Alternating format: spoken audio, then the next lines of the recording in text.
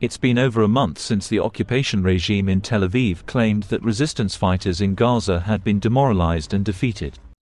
In fact, the occupation, at some point, claimed that northern Gaza had been overrun, with strategic defense locations of Palestinian freedom fighters destroyed. They stated that the alleged success there prompted the shift to the south. Yet, continued fighting in many areas of the north has debunked the media stunt that the resistance is no more in Gaza.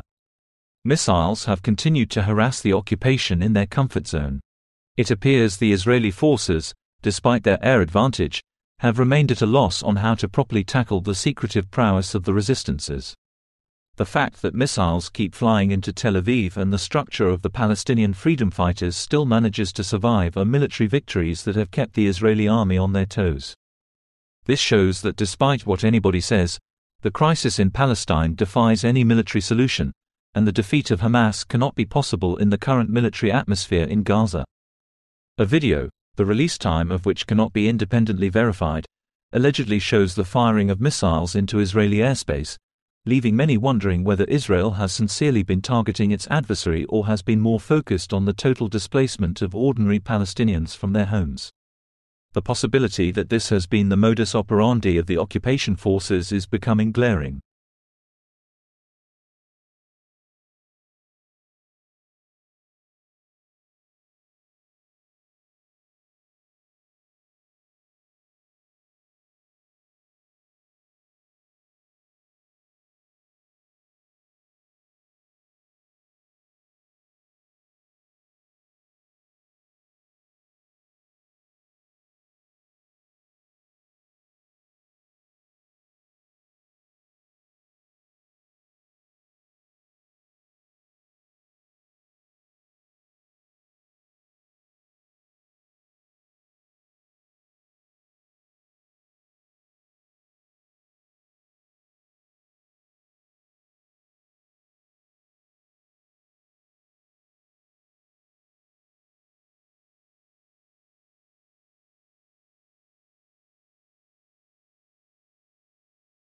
This unverified video underscores the depth of the Palestinian resistance forces and how intact they are, despite Israel and the US government's claims to the contrary. It shows that the ability to fire missiles into Israel by the Palestinian group remains very active and continues to play a pivotal role in defending their rights in Gaza. How this is happening amidst intense bombardments by occupation warplanes still amazes independent observers. This confirms the allegations made by many crisis observers that Israel's alleged intention is to displace the people of Palestine. For instance, the Euromed Human Rights Monitor stated that the Israeli army's claim, stating that every killed armed individual or faction member results in the loss of two civilian lives, is false.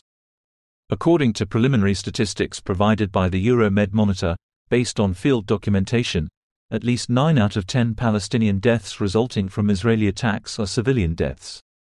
The death toll of Palestinians has risen to 21,022 since the start of the war in the Gaza Strip.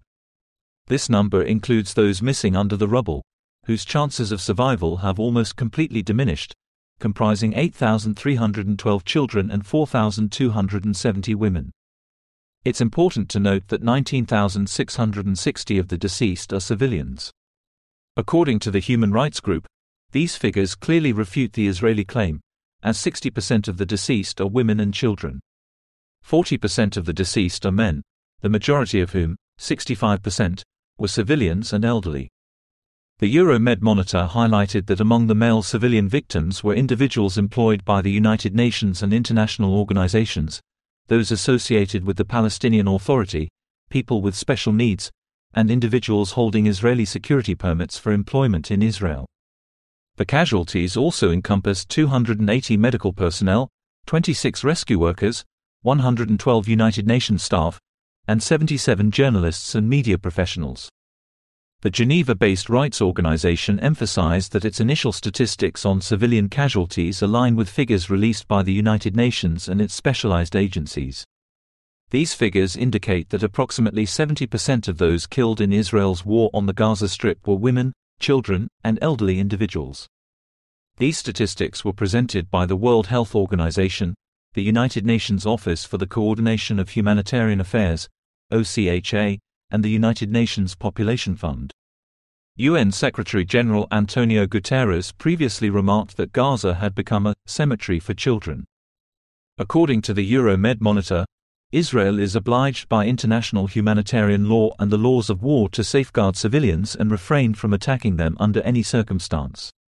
This contradicts Israel's broadening of the army's authority to strike non-military targets and its relaxation of restrictions concerning anticipated civilian casualties. The Israeli army's official statements, announcing extensive assassination operations against what it deems as wanted individuals, have so far listed more than 22 reported targets and acknowledged the significant toll of victims in each operation. In comparison to its prior military operations in the Gaza Strip, Israel's current bombing of the region is notably more intense.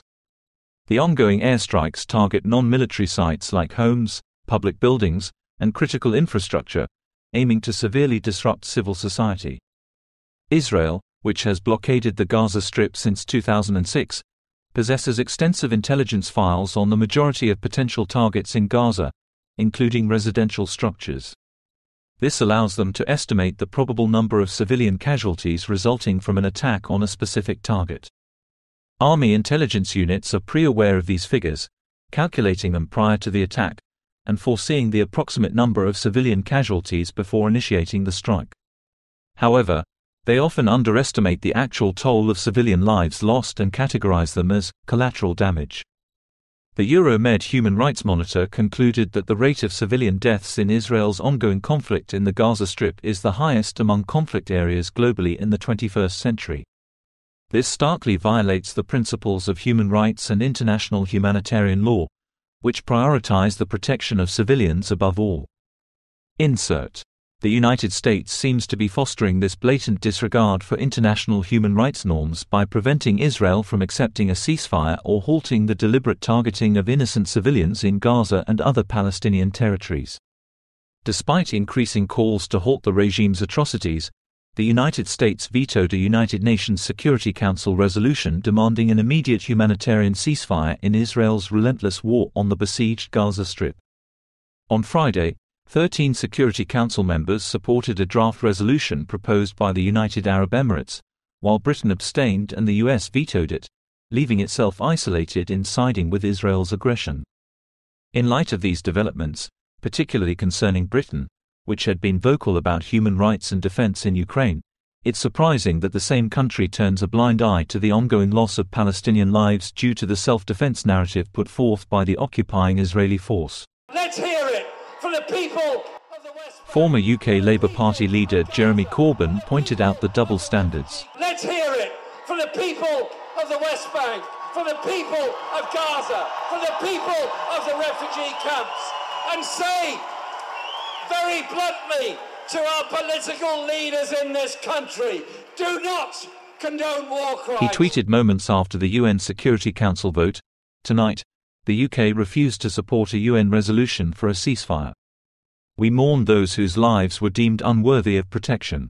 We stand in solidarity with the Palestinian people to end the bombings, blockades, and occupation. There is no possible justification for deliberately killing. The vote occurred following a formal warning by UN Secretary General Antonio Guterres to the 15 member Council on the global threat posed by the two month long Israeli war against the defenseless people of Gaza. I appreciate your dedication to supporting our content. Please consider showing your appreciation by liking and sharing this video. Don't forget to hit the subscribe button to stay updated with the latest developments in Palestine. Until our next update, peace.